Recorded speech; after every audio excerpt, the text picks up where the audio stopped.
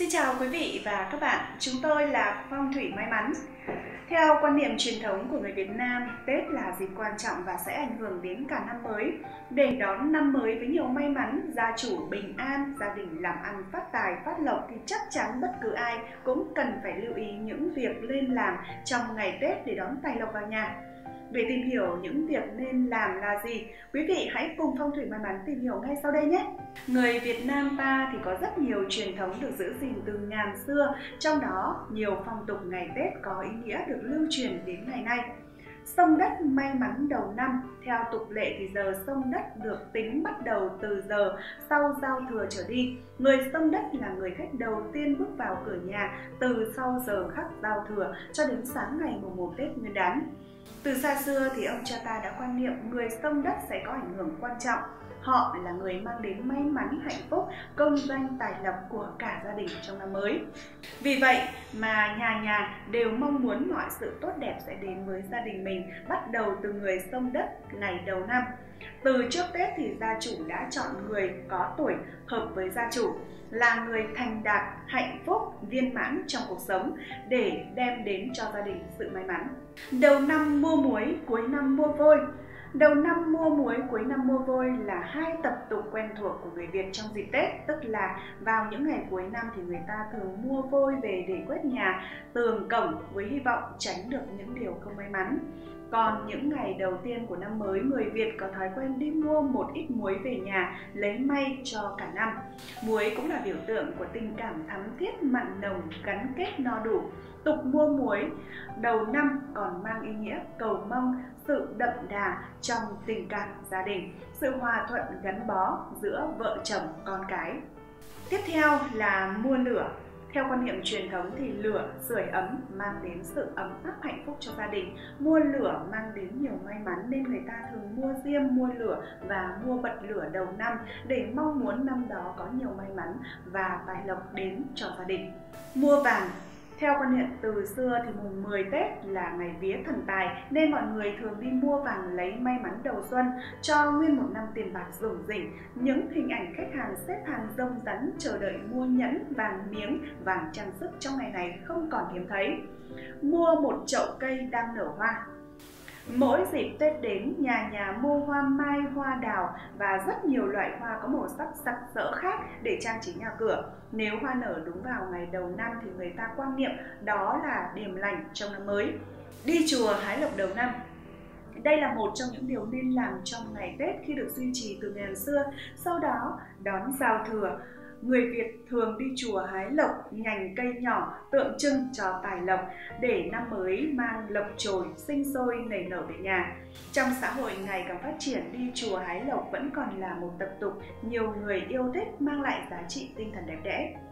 Mặc quần áo mới trong 3 ngày Tết Không chỉ có trẻ em háo hức được mặc đồ mới. Áo quần mới mang ý nghĩa cho những điều tươi mới vui vẻ trong ngày đầu xuân. Đặc biệt là trẻ em hay là các cô gái đều rất thích mặc áo dài trong dịp này. Các đám cưới đầu xuân cũng thường chọn áo dài làm áo cưới cho cô dâu chú rể. Bạn cũng nên lưu ý mặc những bộ cánh có màu sắc tươi sáng như là màu đỏ, vàng, xanh. Việc mặc các trang phục tông màu trầm như là đen hoặc xám là một trong những điều cấm kỵ trong ngày Tết bạn nên nhớ. Ngoài ra, bạn có thể nghiên cứu thêm phong thủy để chọn màu sắc phù hợp với mình. Chúc Tết người lớn tuổi Người Việt Nam thường có phong tục đi chúc Tết bà con họ hàng trong ngày đầu năm. Mồng 1 Tết cha, mồng 2 Tết mẹ, mồng 3 Tết thầy là câu nói thể hiện rõ phong tục chúc Tết của nhân dân ta. Chúc Tết là dịp để người ta trao nhau những nụ cười, những lời nói tốt đẹp, lời mừng thọ để bày tỏ lòng hiếu thảo, tình yêu thương với mọi người. Cùng với lời chúc là niềm mong ước một năm mới an khang, thịnh vượng, nhiều may mắn và hạnh phúc. Ngày xuân từ xưa đến nay trong tâm tưởng của mỗi người luôn là Tết đoàn viên là dịp để sum họp. Khi nhắc đến những điều nên làm trong ngày Tết, đi chúc Tết là việc không thể bỏ qua với tất cả mọi người. Mừng tuổi trẻ nhỏ, người già gắn liền với việc chúc Tết là phong tục mừng tuổi hay là trong dân gian còn gọi là lì xì. Trẻ con thường nhận được lì xì với lời chúc hay ăn chóng lớn, học hành giỏi giang, ngoan ngoãn. Ông bà cũng được con cháu biếu những bao lì xì để chúc sức khỏe trường thọ. Người Việt Nam có quan niệm sống rộng rãi thì sẽ nhận được phúc lộc, vì vậy trong dịp Tết, người ta phát lì xì cho trẻ nhỏ với mong ước được ăn nên làm ra buôn bán thuận lợi. Cho hay, nhận lì xì đều rất may mắn mang ý nghĩa phát tài phát lộc, vì lẽ đó mà phong tục mừng tuổi được lưu truyền cho đến tận ngày nay. Xin chữ Bên cạnh tục khai bút đầu năm, người Việt còn có thói quen xin chữ và cho chữ vào những ngày Tết cổ truyền của dân tộc. Đây là một việc làm mang nhiều ý nghĩa văn hóa. Theo các nhà nghiên cứu, xin chữ đầu năm mang ý nghĩa tốt đẹp là người dùng chữ biết trân quý giá trị của chữ, cũng là ước vọng xin cái may mắn, cái phúc đức mang về nhà trong cả năm đó may mắn, tốt lành. Viết ba điều ước Đầu năm cũng là lúc mà chúng ta nên tổng kết lại thành quả của năm cũ và viết ra các mục tiêu thành tựu muốn đạt được trong năm mới. Ngoài việc tiếp thêm động lực, người Trung Quốc có phong tục khai bút đầu năm để học hành thăng tiến, tăng thêm trí tuệ và người Nhật tin rằng 75% những gì mình viết ra sẽ trở thành sự thật. Vậy nên, hãy viết ba điều ước trong năm mới rồi gắn lên cây để chúng có thể đu đưa theo gió ngay thời khắc chuyển canh đêm giao thừa ăn nho. Trong Phật giáo có rất nhiều tràng hạt, hạt tràng có 12 hạt tượng trưng cho 12 nhân duyên, 12 tháng trong một năm. Người Trung Quốc tin rằng ăn 12 trái nho, nho giáo vào ngày đầu năm thì sẽ có được 12 tháng may mắn, sự nghiệp học hành thăng quan tiến chức. Uống nước cam Cam và quýt là loại trái cây mang nhiều đến điểm lành trong tín ngưỡng phương Đông. Chúng có màu tươi sáng và là biểu tượng cho vàng nên hãy uống một ly vàng vào ngày đầu năm, vừa may mắn vừa tốt cho sức khỏe. Bên cạnh những việc làm, quý vị cần lưu tâm đến những việc đại kỵ để tránh được vận hạn của năm canh tí 2020. Các cụ có câu, có thờ, có thiêng, có kiêng, có lành. Nếu vô tình phạm phải những điều cấm kỵ trong ngày Tết thì có thể bạn sẽ bị tai họa ập đến, tiền bạc lần lượt đội nón ra đi. Và không để quý vị chờ lâu hơn nữa, phong thủy may mắn sẽ nói ngay sau đây. Dân gian có câu đầu năm mua muối, cuối năm mua vôi với rất nhiều cách giải thích khác nhau. Đầu tiên thì việc mua muối được xem là mua cái sự mặn mà về nhà cho cả năm.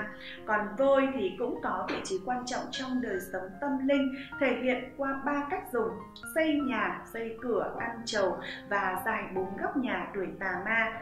Cũng có một cách giải thích khác cho rằng cuối năm phải mua vôi để tiếp vôi cho ông bình vôi làm vỡ bát đĩa, cãi nhau, chửi nhau khiến không khí ngày Tết kém vui và bất hòa trong suốt cả một năm. Kiên cữ để được vui vẻ cả năm các bạn nhé. Những người nặng vía thì không hợp tuổi với gia chủ đừng nên đến sông nhà ngày đầu năm. Một vài gia đình sẽ chọn người hợp tuổi với nhà mình để mời sông đất.